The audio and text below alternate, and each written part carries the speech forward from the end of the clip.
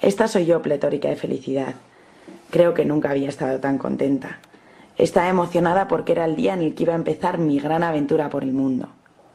Tenía ganas de conocerlo todo, de llegar a lugares imposibles y contemplar espectaculares puestas de sol.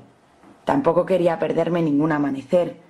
Con esa luz todo parece mágico y hechizante, y uno no puede pensar en nada más.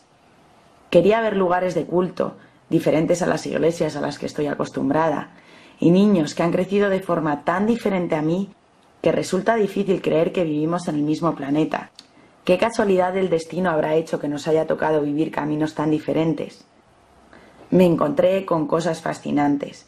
Vi imágenes que nunca había pensado que pudiesen existir. Y me sentí emocionada de tener la oportunidad de conocer todo lo que he conocido.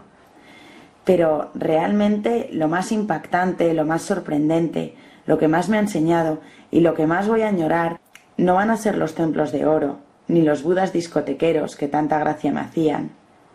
Tampoco como la selva devora la piedra, ni los lagos de cuento de hadas, en los que uno se podría tirar horas y horas simplemente mirando a su alrededor y preguntándose si realmente está ahí.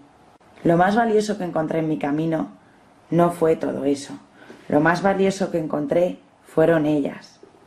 Madres, maestras, artistas, malabaristas, enfermeras, copilotas, cocineras de primera, creadoras de chapati, cultivadoras de té, comerciantes de andén, siempre atentas a cada detalle, creadoras de fuego, tejedoras, agricultoras, ganaderas, cómplices, muñecas, ciclistas, carnívoras, casadas, aburridas, hospitalarias, compañeras, sonrientes y princesas, pero ante todo, heroínas.